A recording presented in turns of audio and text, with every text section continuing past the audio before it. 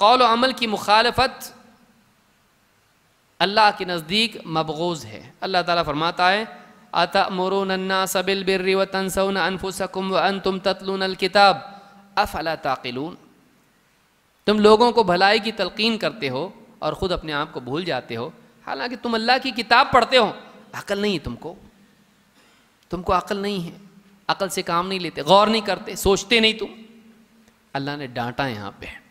کہ ایک انسان کے پاس اللہ کی کتاب کا علم ہو، لوگوں کے بیچ میں وہ بولے بھی اس کو اور اس کی زندگی میں عمل نہ ہو، ایسا آدمی علم والا نہیں، یہ تو عقل والا بھی نہیں ہے۔ نا عقل، کم عقل، بے عقل کون ہے؟ جس کی زندگی میں عمل نہ ہو، جس کی زندگی میں علم کے باوجود عمل نہ ہو۔ لہٰذا بہت ضروری ہے، خاص طور سے طلبہ ہمارے، کہ وہ دین کا علم سیکھ رہے ہیں۔ کائے کے لیے جاب کے لیے؟ یہ جواب کے لیے۔ کوئی جواب کے لیے سیکھ رہا، کوئی جواب کے لیے؟ نہیں۔ بلکہ ہم دین کا علم حاصل کریں، کیوں؟ میری زندگی صحیح ہو جائے اور دوسروں کی زندگی صحیح ہو جائے۔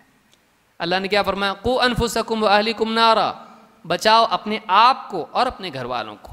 پہلے کون ہے اپنے آپ کو۔ اپنے آپ کو آدمی بچائے۔ یہ نہیں کہ سارے جہاں کا درد ہماری سر میں ہے۔ ہاں۔ سارے جہاں کا درد اور سارے جہاں کا شر بھی ہمارے ہی گھر میں ہے۔ تو ایسا نہیں ہونا چاہیے۔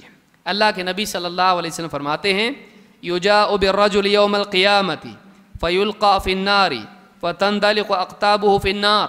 قیامت کے دن ایک آدمی کو لایا جائے گا اور قیامت کے دن جہنم میں اس کی، جہنم میں ڈال دیا جائے گا، اس کی اتڑیاں پیٹ سے باہر نکل آئیں گی۔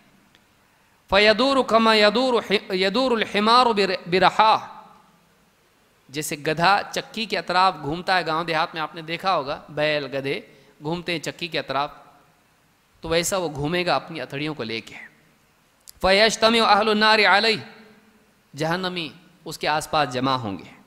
فیقولون ای فلان ما شأنک؟ پوچھیں گے، اے فلانے، یہ کیا ہو گیا تیرا؟ کیسے اس حال میں آ گیا تو؟ علیہ کنت تأمرنا بالمعروف و تنہانا عن المنکر کیا تو ہی تو نہیں تھا جو ہم کو بھلائی کی تاکید کرتا تھا، برائی سے منع کرتا تھا؟ وہ کہے گا کن تو آمرکم بالمعروف. ہاں میں تم کو بھلائی کا حکم دیتا تھا، فرائض کی تلقین کرتا تھا، ولا آتی، لیکن خود فرائض کا اہتمام، معروف کا اہتمام نہیں کرتا تھا۔ یہ نوافل کے بارے میں نہیں، فرائض کے بارے میں ایک آدمی دوسروں کو تاجد کی بات کرے، خود نہ پڑے کوئی اس پہ وبال نہیں ہے، اس لیے کہ فی نفسی اس پر لازم نہیں ہے۔ لیکن جو اللہ کے احکام ہیں، فرائض ہیں، ان کا دوسروں کو تلقین اس کی کرے اور خود نہ کرے، تو یہ اور بھی بری چیز ہے۔ معاشیت سے بڑھ کے ہی ہے۔ ولا آتی و انہا کمان المن کری وہ آتی اور میں تمہیں برائیوں سے منع کرتا تھا، لیکن خود ان کا ارتکاب کرتا تھا۔ خود ان کا ارتکاب کرتا تھا۔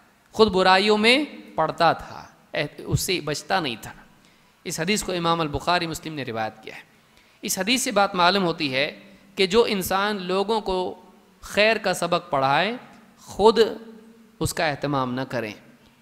برائی سے لوگوں کو بچانے کی بات کریں، خود اس کے اندر ملوث ہو۔ ایسا انسان قیامت کے دن عام گناہ گاروں سے، دوسرے بھی جہنمی ہیں اس میں، لیکن اس کا عذاب ان سے بڑھ کے ہے۔ اس کی اتڑیاں باہر نکل آئی ہیں۔ اور وہ جیسے جانور، گدھا گدھا، آپ دیکھیے گدھا، گدھے کی مثال کتنی ذلت والی مانی جاتی ہے، جہالت کے لیے استعمال ہوتی ہے۔ آدمی کے گدھا ہے، آدمی بدتمیز کے لیے، جاہل کے لیے استعمال کرتا ہے۔ حالانکہ یہ مناسب نہیں ہے، لیکن اللہ تعالیٰ نے خود قرآن میں ذکر کیا ہے اس کو کہ علم کے باوجود، علم کے حاملین جو علم پر عمل نہ کریں۔ ان لوگوں کی مثال کیسی ہے؟ گدھے کی طرح جس کی پیٹھ پر کتابیں رکھ دی گئی ہوں۔ لہٰذا علم کے بعد عمل نہ کرنا انسان کو انسانیت سے جانور تک لے جاتا ہے، جانور کی صف میں کھڑا کر دیتا ہے۔ علم پر عمل ہونا چاہیے۔ اسی طرح سے اللہ کے نبی صلی اللہ علیہ وسلم نے فرمایا، مثل الذي يعلم الناس الخیر وہ آدمی، اس کی مثال جو لوگوں کو خیر کی تعلیم دیتا ہے، اچھی باتیں سکھاتا ہے۔ وہ انسا نفسا ہو اور اپنے آپ کو بھول جاتا ہے، خود عمل نہیں کرتا۔ مثل الفتیلہ تو الناس و تحریک نفسہ چراغ کی طرح ہے۔ اس کی مثال کیسی ہے؟ چراغ کی طرح ہے کہ جو دوسروں کو تو روشنی دیتا ہے، لیکن خود اپنے آپ کو جلاتا رہتا ہے۔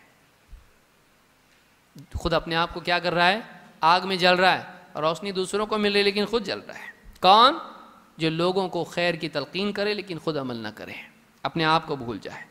امام الطورانی نے اس کو روایت کیا اور یہ حدیث سیل جامع صغیر میں موجود ہے۔